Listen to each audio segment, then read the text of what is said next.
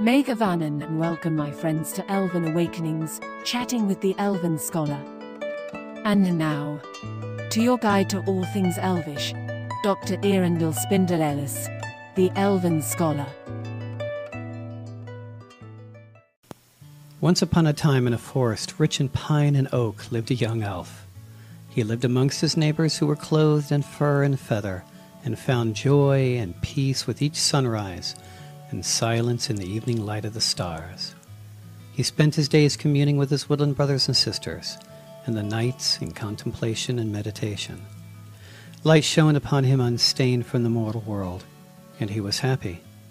But as time passed, he became more aware of the land outside filled with fear and despair, and he knew his time of living in the gentle woods was coming to an end, and his journey as a teacher was upon him. When the morning sun found him again, he walked out of the forest with nothing but the clothes on his back and strode into the land of man to teach and to be taught. For it is the way of all teachers that the student so often will be the better master.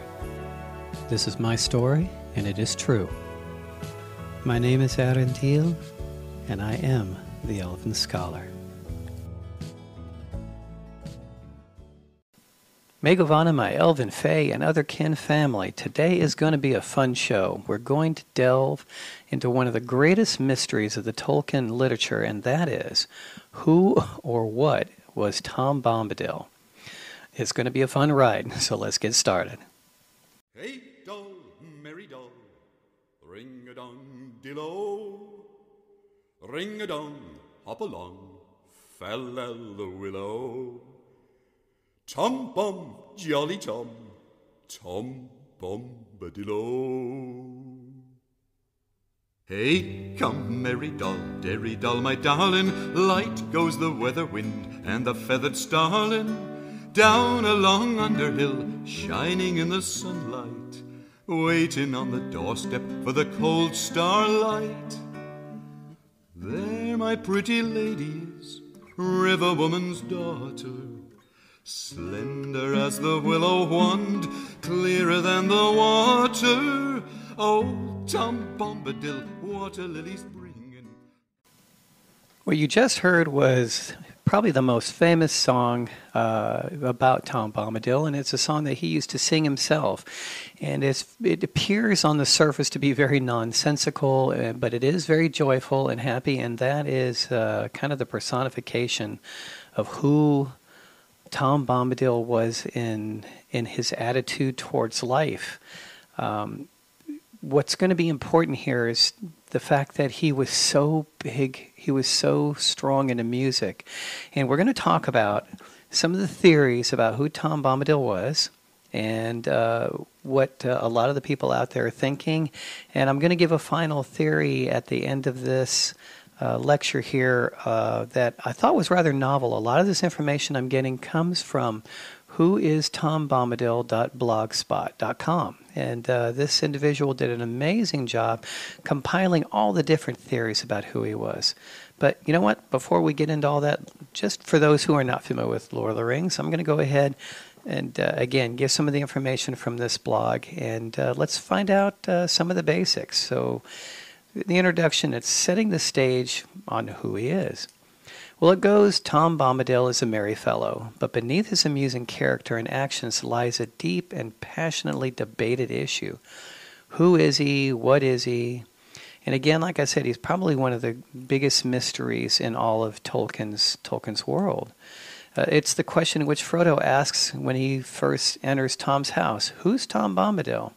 And again, this has been debated ever since uh, Frodo asked that question. Okay, so there are are a multitude of theories. Some people say that uh, Tom was was God himself.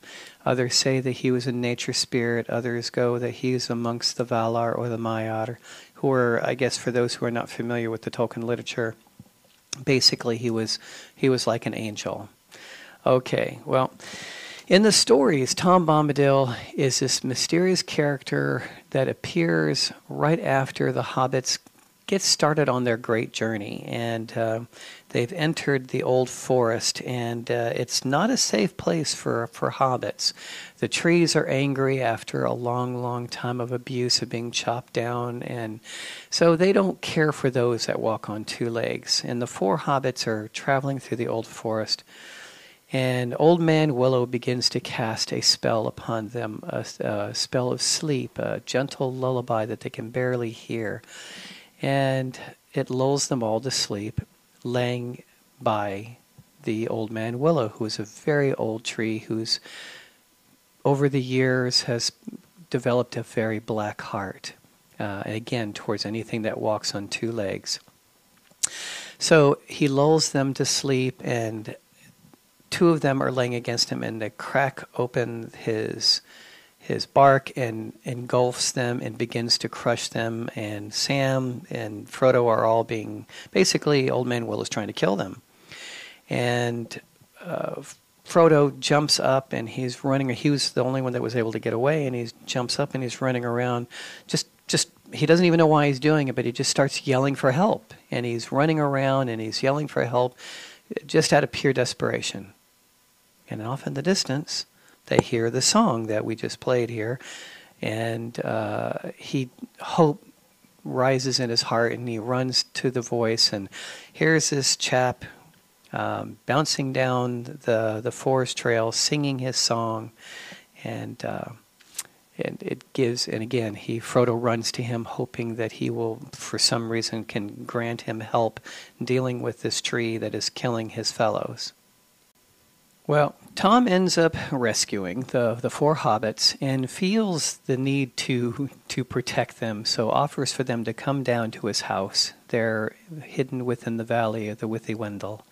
And uh, from there, we get to encounter and learn much about this mysterious man. But so many questions are left unanswered. So Let's give a little description of him. As he was described, it goes Old Tom Bombadil is a merry fellow. Bright blue is his, his jacket is, and his boots are yellow. So he was considered a bit of an outlandish character. The name Tom Bombadil originally was what the hobbits called him, but he had many names. But before I get into all that, I'm actually going to play a, an audio clip here in just a little bit. And uh, why reinvent the wheel? This individual, and I'll, I'll say who they are here in a moment, did such an excellent job on YouTube describing some of the theories and possibilities who Tom Bombadil was. There's no point in me reiterating it or again recreating the wheel. But um, a little bit of the history before we get into that. Uh, it's originally from a poem uh, called The Adventures of Tom Bombadil that was written in 1934 by J.R.R. Tolkien.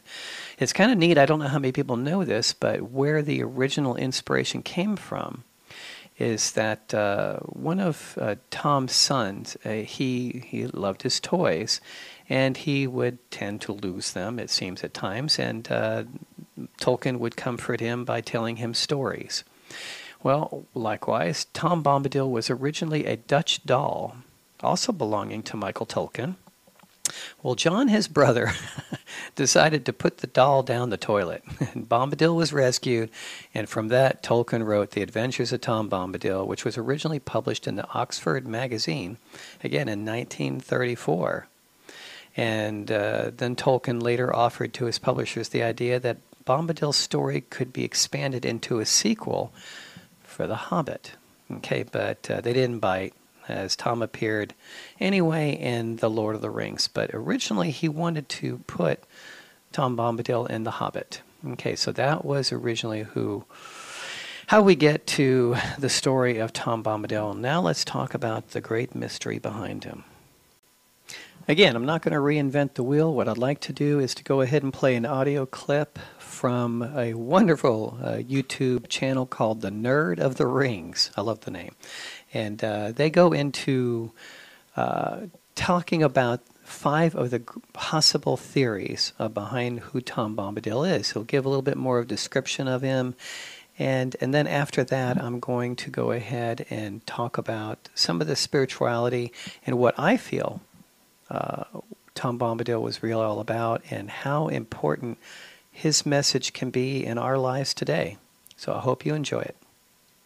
Tom Bombadil is perhaps the greatest of the many mysteries of Middle Earth. Today, we are going to cover five of the most popular theories on who Tom Bombadil actually is. This topic was recently chosen by my Patreon supporters and is a common request on the channel, so I'm excited to dive in. First, let's establish some of what we know of Tom Bombadil from Tolkien's text. We know that the name Tom Bombadil is actually the name which the Buckland hobbits know him by. And as with many names that the Bucklanders use, it's untranslatable. His other names, however, are translatable. The elves and the Dunedain call him by the Sindarin name Iarwain ben Adar, which means oldest and fatherless. The literal translation of Iarwain is old young. The men of the Vales of Anduin and of Rohan know him by the Rohirric name Orald, which translates to very ancient. Among the dwarves, he is known as Forn, now, in real world Old Norse, this means belonging to ancient days. So we obviously get a sense from his names alone that Tom is very, very old. Just how old? Well, we need look no further than Tom's own words when the hobbits come to his home. Who are you, master? he asked. Eh, what? said Tom, sitting up, and his eyes glinting in the gloom. Don't you know my name yet? That's the only answer. Tell me, who are you, alone, yourself, and nameless? But you are young, and I am old. Eldest, that's who I am. Mark my words, friends. Tom was here before the river and the trees. Tom remembers the first raindrop and the first acorn. He made paths before the big people, and saw the little people arriving. He was here before the kings and the graves and the Barrow-wights. When the elves passed westward, Tom was here already, before the seas were bent. He knew the dark under the stars when it was fearless, before the Dark Lord came from the outside. We also know that while Tom's nature is a mystery, he wasn't entirely sealed off from the world by any means. Tom reveals that he knows Farmer Maggot, who he regards as a person of more importance than the hobbits had imagined. There's earth under his old feet and clay on his fingers, wisdom in his bones, and both his eyes are open. We also know he had dealings with elves, as he received word from Gildor concerning Frodo's flight from the Shire before the hobbits arrived in the Old Forest. Another important detail is that he's affected by the ring differently than anyone we know of in Middle Earth. Or rather, that he isn't affected by it at all, as we see in the story. Show me the precious ring, he said suddenly in the midst of the story, and Frodo, to his own astonishment, drew out the chain from his pocket and unfastening the ring, handed it at once to Tom. It seemed to grow larger as it lay for a moment on his big brown skinned hand. Then suddenly, he put it to his eye and laughed. For a second, the hobbits had a vision, both comical and alarming, of his bright blue eye gleaming through a circle of gold. Then Tom put the ring round the end of his little finger and held it up to the candlelight. For a moment, the hobbits noticed nothing strange about this. Then they gasped. There was no sign of Tom disappearing. Tom laughed again, and then he spun the ring in the air and it vanished with a flash. Frodo gave a cry, and Tom leaned forward and handed it back to him with a smile. Shortly after this, Frodo decides to test that the ring Tom gives him is in fact his own. As Frodo puts on the ring and disappears, we learn something else about Tom that he can see its invisible wearer. Come, Frodo, there. Where you be a goin'? Old Tom's not as blind as that yet. Take off your golden ring. Your hand's more fair without it. Come back, leave your game, and sit down beside me. We must talk a while more and think about the morning. Tom must teach the right road and keep your feet from wandering. Now, with this bit of knowledge, we'll dive into the theories and reveal more along the way. Theory 1 Tom Bombadil is Eru Ilúvatar. I'll admit I really like this theory, even though I don't think it's likely. The idea that the creator of the universe spends much of his days in the Old Forest, awaiting the remaking of the world, helping a bit here and there, but generally letting history play out as it will, is a fun one. Not to mention, it's fun to think that as Gandalf was likely resurrected by Eru himself, that the wizard would have a revelation that Eru was dwelling in Middle Earth this whole time, as Tom Bombadil. It certainly makes the fact that Gandalf spends two years talking with Tom before sailing west even more interesting. Fair lady, Frodo said again after a while, tell me, If my asking does not seem foolish, who is Tom Bombadil? He is, said Goldberry, staying her swift movements and smiling. Frodo looked at her questioningly. He is, as you have seen him, she said in an answer to his look. He is the master of wood, water, and hill. Then all this strange land belongs to him? No, indeed, she answered, and her smile faded. That would indeed be a burden, she added in a low voice as if to herself. The trees and the grasses and all things growing or living in the land belong each to themselves. Tom Bombadil is the master. No one has ever caught old Tom walking in the forest, wading in the water, leaping on hilltops under light and shadow. He has no fear. Tom Bombadil is master. One connection here is Goldberry's use of the phrase he is, in response to Frodo asking who Tom Bombadil is. In Christianity, God refers to himself as I am, so the parallel is easy to draw. We also know that the Christian faith has precedence for God coming to Earth to live among its inhabitants. And with Tolkien being a devout Catholic, it's not a stretch by any means. The quickest and most direct way to disprove this theory comes in Tolkien's letter number 181, where he states that there is no embodiment of the One, of God, who is only directly accessible to the Valar. And while there's other holes in this theory, like Tom saying that he is no weather master, clearly Eru could control the weather if he wished, and the elves of Rivendell stating that even Tom would eventually fall to Sauron, Eru himself would not fall to Sauron, even if Sauron possessed the One Ring. Eru is simply beyond anything else in the universe. With these examples combined with Tolkien's own declaration, we can safely disprove this theory. Theory number two Tom Bombadil is one of the Valar. This is an interesting theory and another one that could explain why the ring holds no sway over Tom Bombadil. However, I think the more we look at the facts surrounding Tom and the Valar, the quicker this argument falls apart. For one thing, we know all of the Valar that exist by name, so this would mean that in order for Tom to be one of the Valar, he would have to be one that we already know in disguise. As I looked online for theories, I found the most common line of thought was that he could be Aule, which would make his wife Yavanna Goldberry. While Tom and Goldberry being Valar would also check out with the description of being eldest and fatherless, there's not much else that fits. For one, while Yavanna is the Vala of nature, Aule is a smith and doesn't come across as one as in tune with nature as Tom Bombadil seems to be. While being one of the Valar would explain why the ring has no sway over him, Tom also has no interest in it whatsoever.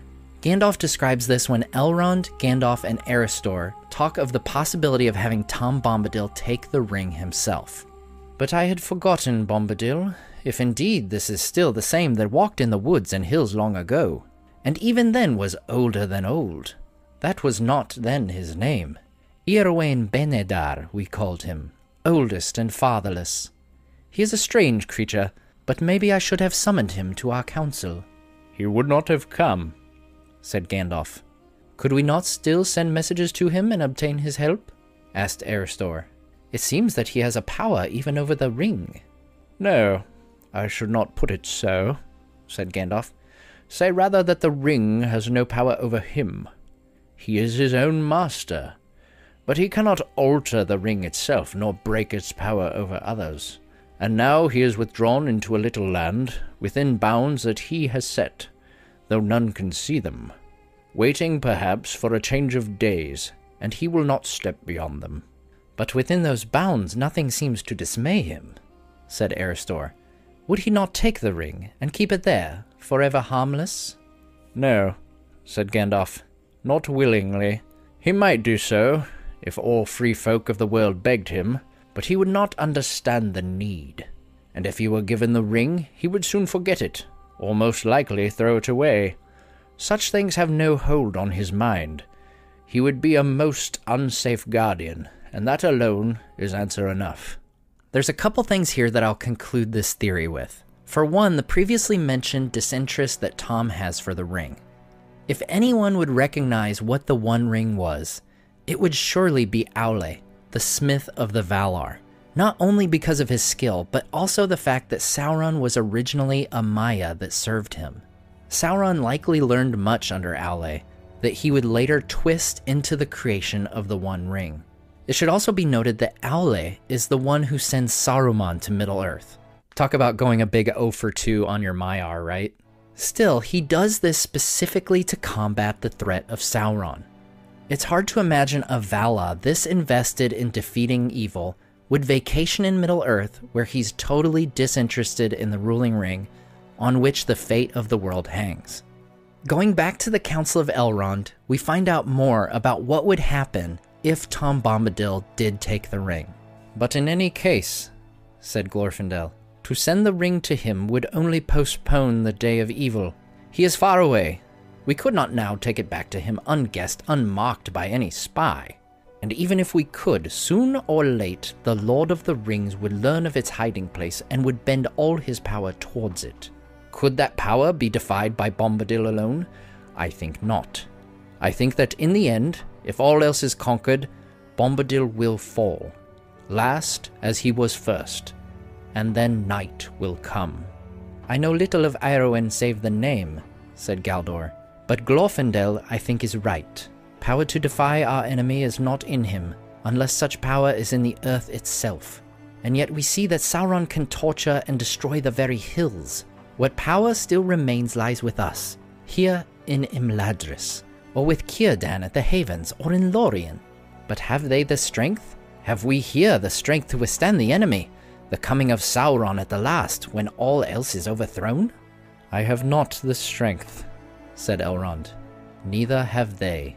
It's hard to imagine that a Vala like Aule, who possesses the ring which has no hold on him, would be unable to ward off Sauron, a Maia, who did not have the ring.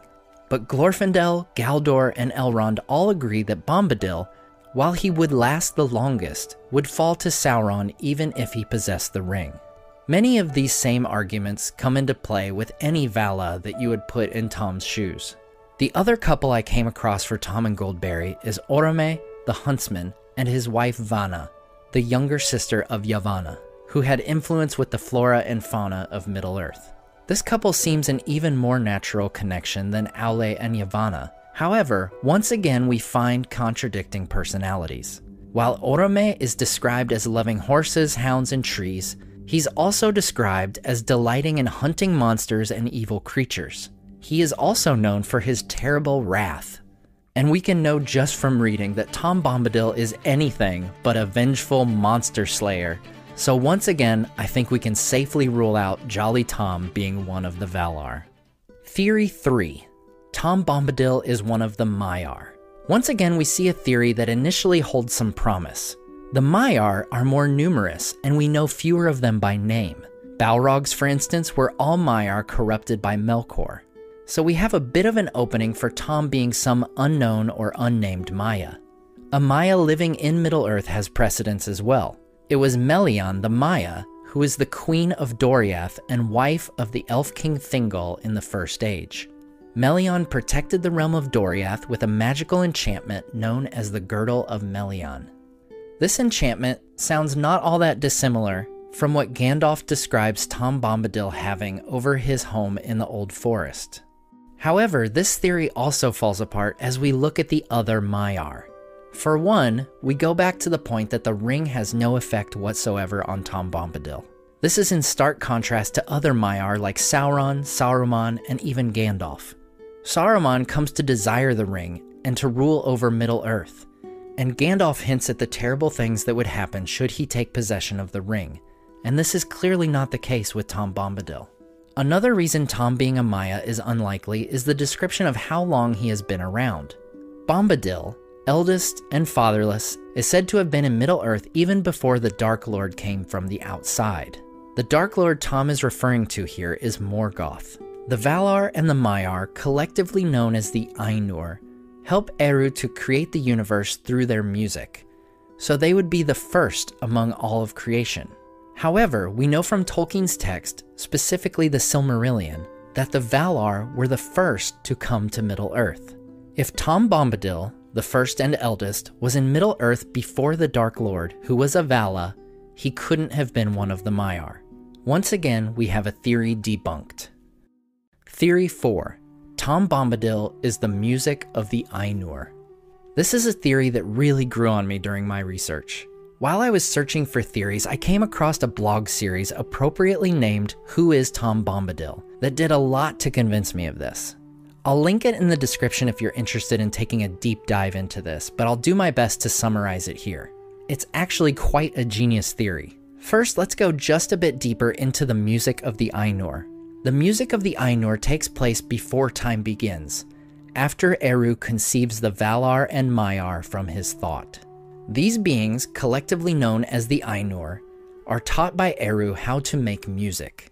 Now, we could spend an entire video, and likely I will someday, on the music, but long story short, the Ainur make their music, in which Melkor sows discord. Through this music, Eru creates Ea, the universe in which the world of Arda exists. Within the world of Arda, we find the land of Middle Earth. Now, this theory goes that Tom Bombadil is the incarnated spirit of the music of the Ainur. According to the theorist, this explains why Tom has the power in his voice to save the hobbits from Old Man Willow and the Barrow-wights. Both of these are examples of things created in the music of the Ainur, but corrupted by the discord of Melkor. Being the incarnation of the music himself, he knows the tunes that can confront and correct them. There's also the fun connection that Tom is constantly singing, and even when he's speaking, much of his speech has a musical or lyrical nature to it. Now, while Tom seems to have the power over Old Man Willow and the Barrow-wights, he explicitly states he does not have this power over ring wraiths. Out east, my knowledge fails. Tom is not master of riders from the Black Land far beyond his country. Well, this theory has an explanation for that as well. The theory says this is because Sauron is a Maiar. Being one of the Ainur, he is not bound to the music he helped create. The ring wraiths, in turn, get their power and their very essence from Sauron himself and his ring. Now, the discord of Melkor brings the thoughts of the future Dark Lord into being and is in conflict with the rest of the music of the Ainur. In this way, Tom Bombadil can be in conflict with the things of Melkor's discord, but neither overpowers or defeats the other. They merely compete with one another. Now, I know this would naturally bring the objection why doesn't Tom take a more active role in fighting the darkness if he is capable of competing with it? Well, quite simply, Tom knows he doesn't have the power to defeat things of the Discord. However, he is also aware there is an end appointed to the Discord by Iluvatar. Bombadil, being eldest and first, has seen the first Dark Lord rise and fall twice. He has seen the reshaping of the world, and the coming of a second, lesser Dark Lord who has to this point fallen once before. While the stakes are high for those who have shorter lifespans or are young by comparison, not just mortals here, but many elves as well, in Tom's view, Arda could be close to the second music of the Ainur, when the Ainur, along with the elves and men, will make a music even greater than the first, with everyone in harmony together, creating the world anew. Another area where Tom Bombadil, being the embodiment of the music of the Ainur, has a strength is the fact that he is eldest and could come before the Dark Lord came from the outside. So if Tom Bombadil is the music of the Ainur, he would have been created as the universe was created. The Dark Lord couldn't have come to the Earth before said Earth is created. Therefore, Tom could rightfully say he was there before the Valar, which includes the first Dark Lord. Now, I know this can be a bit dense and a confusing theory, especially if you're not familiar with the music of the Ainur. So, again, if you're interested, I highly suggest you check out the blog post, which I'll leave in the description below. As a fairly recent discovery for me, I really enjoy this one. It makes a lot of sense and doesn't have some of the bigger holes that the previous theories have. It also has the added benefit that it could explain another mysterious character in the same vein as Tom Bombadil Ungoliant, the mother of Shelob.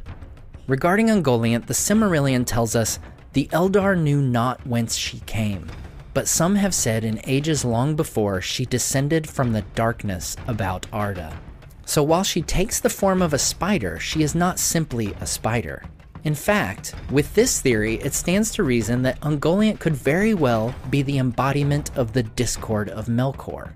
Like Tom, Ungoliant doesn't overly take sides. She assists Melkor in destroying the two trees, but it's not for the sake of fighting the Valar.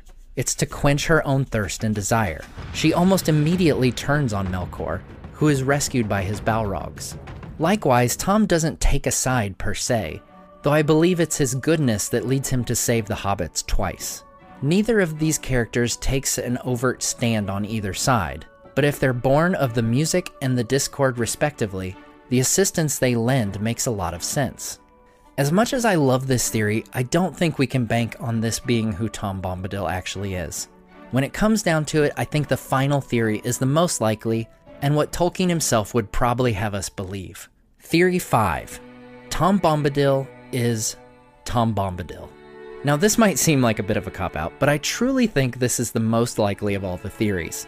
Quite simply, Tom Bombadil is a being unto himself. He very well could have, and likely was, created by the music of the Ainur. Another thing we know about the music is that it's not the Ainur themselves who are doing the actual creating, but it is Eru who creates through the use of the music. While Melkor sows discord and brings about many things that cause evil and trouble down the road, even these are made to ultimately fulfill the plan of Eru, which will eventually lead to the second music. All this to say, Eru could very well have created Tom Bombadil just as he is. He is not there to combat anything or fight anyone. He's just there to be master of his realm and tend to the work that he's constantly referring to, though we don't actually know for sure what that is. Oh, and sing. He is definitely there to sing. And that is a key point. He is there to sing. He's singing when he comes into our perspective for the first time, and he's singing when he leaves. He seems to almost his language itself is that a song. And that leads us to a very important theory. And I saw this again on who is Tom Bombadil.blogspot. And it was this this individual did a great job. He or she proposed that the music had something very, very important to do with Tom. And uh, I love this theory. I think that it has great validity. So let's go into that for just a couple of minutes, and then I'll give you my thoughts on the spirituality of Tom Bombadil. All right, according to the blog, it goes Since we can safely conclude that Tom is not a Vala or a Maia, nor a nature spirit, the question becomes what kind of incarnated spirit is he? How do we determine what type of spirit? And the answer is rather simple, and I agree here. Spirits are determined by that which is most central to their character and function. Uh, it's kind of like you can tell uh, a person by the fruit they bear, and uh, that goes the same with him. For Tom, his character is powerful, and yet appears to be limited, but he's the oldest, he's the first, he's the last, and rather joyful. Uh, he functions with and is in close relation to music from the moment we meet him. So, when asking what type of spirit is Tom, since he's none of the above, the most logical way to answer is to look at how he acts and to look at the very essence of how he's presented to us by Tolkien. All right, so music. All right, so before launching into this theory, a definition of terms is in order. When saying that Tom is incarnated, I simply mean he's found in the flesh. He is a spirit who has taken on flesh, and this is much like Gandalf and Saruman have. All right, but here's one of the most important things, and I love this being the spirit of the music of the Ainur. Okay, and for those who are not familiar with that, uh, basically, according to Tolkien uh, cosmology, and I agree with this, that the mus- the world was created with music that again we're going to talk about this in a future episode how we are all part of that music and we are near, merely notes in the great uh, song of the cosmos the music of the spheres and the mus- the universe was created in the song of the Ainur, the song of the angels. And this is an interesting aspect, looking at Tom as if he is the spirit of the music of the Ainur that he is that music personified in a being who then eventually became incarnated in the world. And this why he, he is the first and the last. You know, some people take that and say, well, then he must be God because God is the first and the last. And from my past episode from last week, I talk about who is God. And thou art God. We are all God. We are all aspects and essences of God. And the spirit of the, the music of the Ainur, the music itself is an aspect of God, uh, just another part of God. And so, for yeah, you could argue and you could say, well, if Tom is a the spirit of the music, and the music comes from the Ainur, who of course are manifested from Eru, from God, well, then he must be God. And in that sense, yes, Tom Bombadil is Eru, but so are you, and so am I. But his manifestation, his aspect of it, is as a spirit of the music of the Ainur. You can tell from Tom's behavior that everything he does is wrapped around music and is joyful. And, um, and we know that from the music, all was created. So, spiritually, what can we learn from Tom? Okay, one of the most important things is again where they talked about the ring, the one ring that even Gandalf was afraid of. Gandalf wouldn't touch it because he knew that he could be corrupted by the ring. And yet Tom could put the ring on and it had no effect on him. Tom was unaffected by it because Tom was created long before it and long before even uh, uh, even most of the other well certainly before the earth was created uh, Tom was already there. And so it's it's it's easy to say that he's just unaffected by the things of this world because he is literally the music itself. And what can we do with that? Well, from myself, one of the most important things that Tom teaches us is non-attachment to to not be attached to things to he he never worried was never concerned. When the hobbits were in trouble he's rescued them twice within the books. He is the epitome of letting go of not being attached because he knows that it is all perfect already in and of itself and that he lives his life and is not hurt by this world. Uh, he is unattached to it and yet is a part of it, is joyful. Um, within so many beliefs, it's called being and non being. We're both. And Tom Bombadil shows that uh, he can go through life joyfully and be unattached to the outcomes. So for me, that's what Tom shows is that uh, life is an incredible blessing and that we don't have to be attached to the negative outcomes or to the ideas of others, that their concepts, their worldviews, don't have to affect us in any way if we choose not to.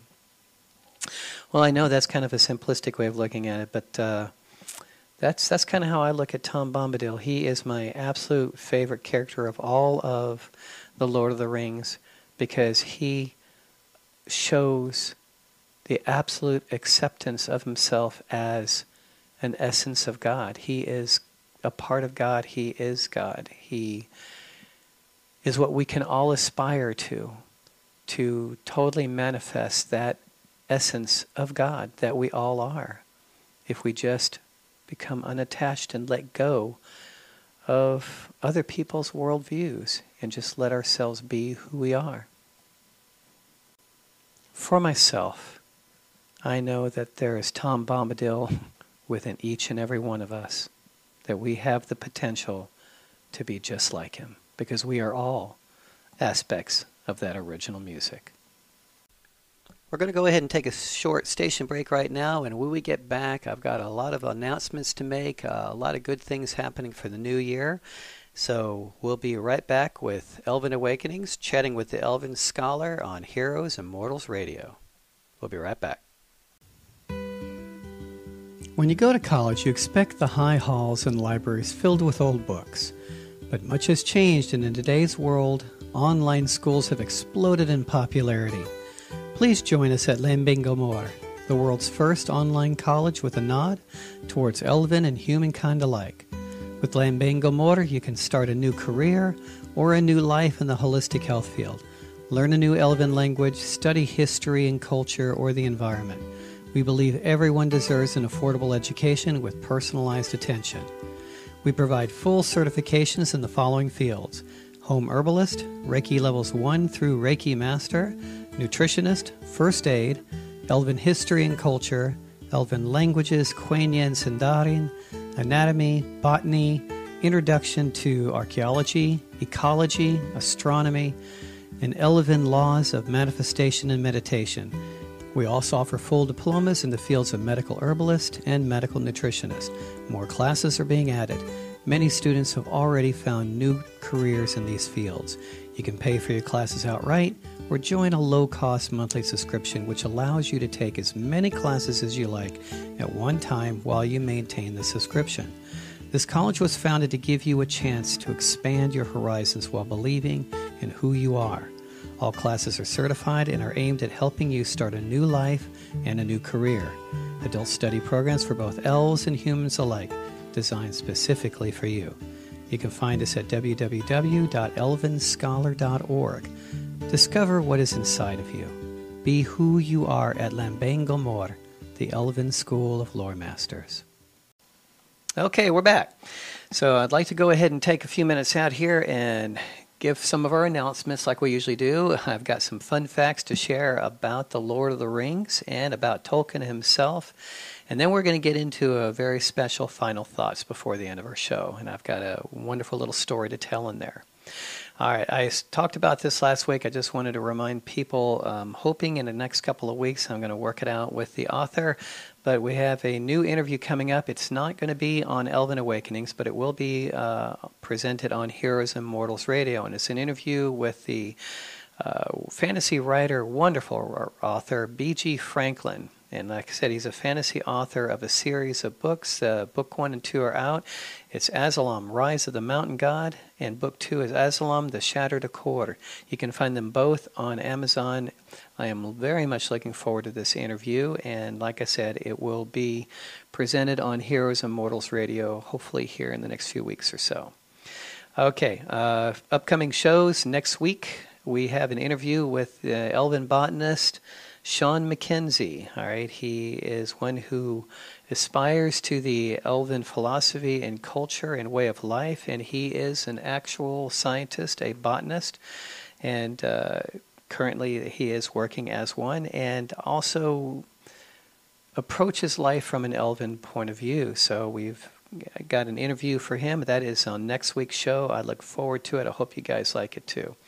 Next few shows coming up, we're also going to be talking about, uh, again, as we talked about here today, you are a note in the great cosmic music. And uh, what's really neat is that is right down to the genetic level. And I'm going to be playing for you some of the music and showing some of the science behind what Tolkien was talking about. Is that there was an original great music, and we are all truly notes of that music. I'm going to try to have for the show after next week. Uh, so next week is the uh, interview with the Elven botanist. I'm try- I'm trying to have the show after that because I've had so many requests for it. Is how to run a successful Elven Fay or other kin business for financial freedom. I'm not a financial advisor, but um, I'm just going to be telling you my experience of how you can take Elven manifestation and how you too can produce this this abundance in your life, how you can create your own business if you decide to put the energy into it, and how you maybe can find financial freedom to have those resources to go live the kind of life that you want. I've done this for many, many decades, and I'm going to be sharing my stories of how I did it and how it can be in line with your elven beliefs where you don't feel like you have to compromise for other people's worldviews. And one of the most important things we're going to be talking about is your perspective or outlook. Do you have a mind that believes in abundance or one versed in poverty and how much that can affect your manifestation in this world? All right, we're going to be talking about the love of the elves for stars and trees and the earth. Going to be talking about elven philosophy and karma and how these two work together and I'll be relaying a bit more of my story about how you can live as an elf in today's world, in a world very much non elven. We're going to be talking about that as well. Okay, a few fun facts to know and share here. Oh, also going to be letting you know that starting next week, we're going to be bringing story time back into the Elven Awakenings radio show. So, um, I, I really like having it here, and uh, we'll try to keep everything short, but uh, we are bringing story time back into the show.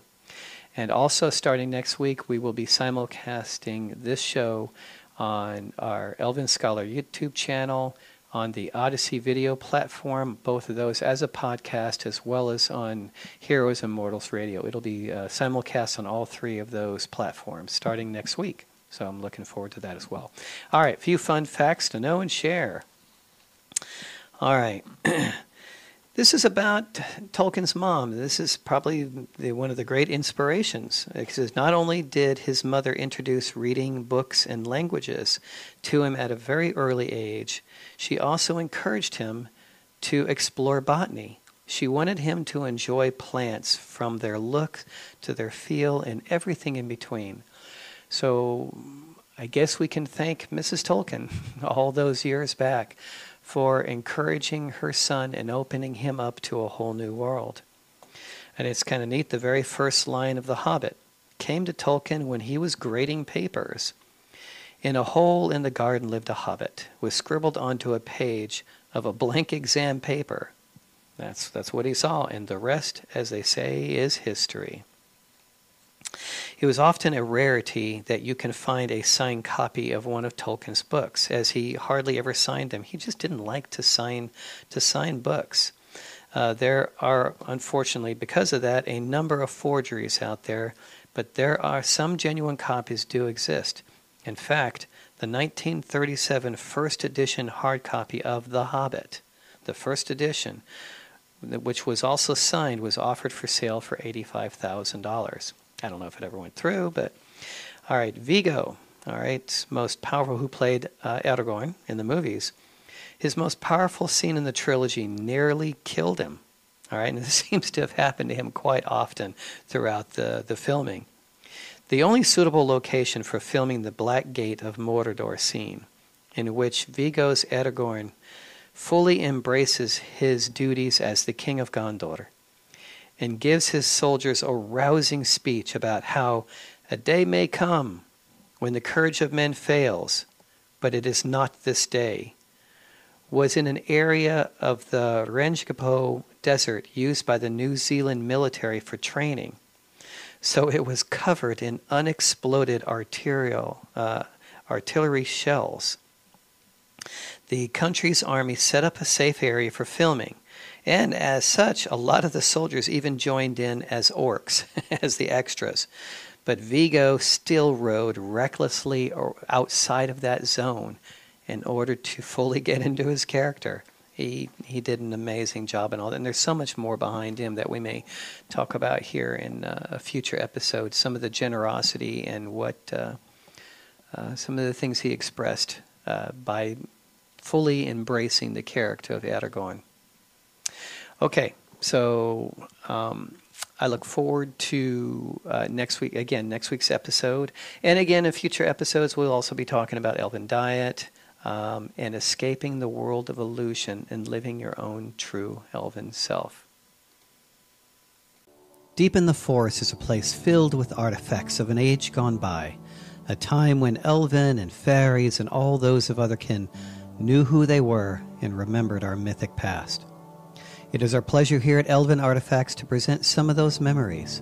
With the rising cost of so many things today, it is becoming harder to find those precious gifts that pass along an air of myth and magic to our homes and to our individual lifestyles. Within this store, you may find that one particular treasure that reminds you of your gentler past, something to help grace your home with our memories. It is our goal to keep everything priced in such a way that makes it available to as many of our gentler folk as we can. Through the magic of 3D printing, we are able to offer them at a greatly reduced price. We are including Elven, Fairy, D&D, and other kin products such as statues, wall plaques, bathrooms, kitchenwares, musical instruments, smartphone accessories, clothes, and so much more. In keeping with our elven traditions, all items are made from eco friendly biodegradable materials. The plastic is made from sugarcane and bamboo. You're also welcome to customize your own artifacts. One of the most important features of this store is the ability that allows you to customize an item. You can have your name written in your language or in Elven, and even customize the images placed on the items. Please let us know what you're interested in. designing, and we will try and help you again at an affordable cost. So please feel free to look us up at elvenscholar.org/store, and we'll do our best to help you find those memories that remind us of our true inner nature. Namarie. It's time for final thoughts, and I wanted to cover a topic that we've noticed has been showing itself more and more in the world today, and that's with all the quarreling and the arguing and the fighting that's going on in this world. I know that people have gotten very tense and upset, but there seems to be so much dissension amongst the people, whether it be their families or friends or with religions or the government and so forth. And so there's become this vast amount of negativity and arguing and uh, lack of seeing from other people's perspectives. So, what I like to do is I like to narrate a beautiful little story. It's an ancient Buddhist story. I've learned about this quite a long time ago. And uh, it's, it's so simple in how it shows, again, how so many things are. From our, how we view the world from our perspective not realizing that we're just one of seven and a half billion people on this world, just one perspective out of it all, and how much we could learn if we would be open to looking at others. Part of the reason I'm bringing this up is because I've noticed that within the New Age, in Elven and Fey and other kin communities, there's so much division, so much dissent that uh, my way of looking at the New Age is appropriate, or my way of looking at elves is appropriate. And in the end, we are all, as I said before, just essences of God. We are all a part of God. We are all God. And as elves, we are from that original, beautiful music of the universe. And it's okay if we look at everything from a different perspective. But maybe if we include other people's worldviews, or at least parts of it, you know, in the in the old South, it was a phrase called when you were gleaning the fields, when the farmer would go through and would get all the cotton out or all the corn out, and then people from around the county would come in after the farmer was done and they would glean the field. They would go ahead and grab what the machines or the farmers didn't get, the little bit of cotton or a little bit of corn, and they would grab it for themselves. And that's what we can do within the Elven community or the Fey or other kin community, is know that there, just like corn, there are kernels of truth in everybody's perspective. And if we'd be open minded to looking at their worldviews, not that we're going to accept their whole worldview, but to realize that there may be some truth in there that could be valuable to us. And maybe in sharing ours would give them also more of the complete picture of just who we are within our elven nature. So anyway, it's it's an old story. It's the story of the six blind men and the elephant. Again, this is a very old Buddhist story, and the story goes like this. Once there were six blind men who stood by the roadside every day and kind of kept back from the people who passed along in front of them. They had often heard of an elephant, but they had never seen one, obviously, for being blind, they would not be able to. It so happened that one morning an elephant was driven down the road where they stood. When they were told that the great beast was before them, they asked if the elephant driver would let him stop so that they might be able to touch him, to kind of get some idea of what he was. Of course, they could not see him with their eyes, but they thought that by touching him, they could learn just what kind of animal he was. The first blind man walked up and happened to put his hand on the elephant's side. And he said, Well, now I know all about this beast. He's exactly like a wall. The second man touched the elephant's tusk, and he said, My brother, you are mistaken. He is not at all like a wall, but he is round and smooth and sharp. He is more like a spear than anything else. The third man happened to take hold of the elephant's trunk, and he said, Both of you are wrong. Anybody who knows anything can see that this elephant's like a snake. The fourth one reached out his arm and grasped one of the elephant's legs. Oh, how blind you all are, he said. It is very clear to me that he is round and tall like a tree. The fifth one was very, very tall man, and he got to take hold of the elephant's ear, And then he said, What, what rubbish! This beast is not at all like any of the things you've named. He is exactly like a huge fan.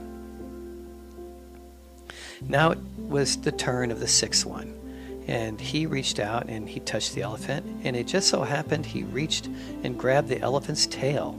And then he said, Oh, foolish fellows, you surely have lost your senses. This elephant is not at all like a wall, or a spear, or a snake, or a tree. Neither is he like a fan, but he is exactly like a rope. Then the elephant moved on, and the six blind men sat by the roadside all that day and quarreled amongst themselves, as each one believed that he knew just how the elephant looked, and each called the others a fool because they did not agree with him. As time went by later that day, a wise man passing by saw them and inquired about why they were arguing with each other so much. Well, they told him what they thought about the elephant, and they asked him to decide who was correct among them about the description of the elephant. Who was right? The wise men said, All of you are correct. And they were shocked after hearing this and asked how that could be possible that all of them could be correct. And the wise man said, Each of you has touched a different part of the elephant. And that is why you are all correct, as the elephant consists of all these features that you have described. The story of the blind man and the elephant tells us about the reality of life and also about a basic problem that we seem to all have. Often people think that they that only they are right and the other is wrong but they never try to see from another person's point of view. And when people disagree with each other, then they often get into arguments, and then arguments often turn into fights. This is the reason that today the quarrels in families are increasing, fights between friends are increasing, the fights between people of different communities and religions are increasing. And the reason behind all this is that we do not try to understand the beliefs of others and only understand our point of view. If we try to open our closed minds and try to understand the thoughts of others, then these petty conflicts in the world will end. And a sense of respect for each other's belief will arise. Then the spirit of brotherhood and sisterhood will increase in the world, and this world can indeed become a better place for us all to live. Just like touching the different parts of the elephant gave each one their own unique perspective. Again, with seven and a half billion of us on this world, with seven and a half billion different perspectives, we each are touching a different part of life. So we each have our own perspective of it. But does that make you right and me wrong or vice versa? No. It's, it's like they talked about Tolkien with the creation of the universe, as we mentioned here, was done in song. The Ainulindalë is the first book, and it's called The Music of the Ainur.